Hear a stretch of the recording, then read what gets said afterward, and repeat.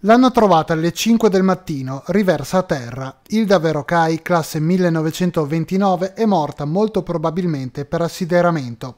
La donna, residente in località Verocai, a nord del centro di Cortina, era uscita di casa con il deambulatore. Era da sola ed è caduta a breve distanza dalla sua abitazione. La notte ampezzana, con le sue temperature alcuni gradi sotto lo zero, non le ha lasciato scampo. Sul posto i carabinieri della compagnia di Cortina per i rilievi di rito. Essendo chiara la causa accidentale, la salma è stata subito messa a disposizione dei familiari.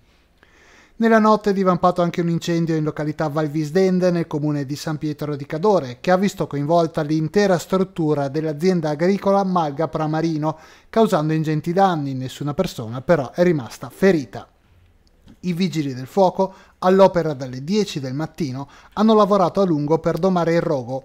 A seguito della segnalazione di un escursionista, la squadra di soccorso è stata elitrasportata in loco in quanto la neve ha reso inaccessibile la malga per i mezzi di soccorso ordinari.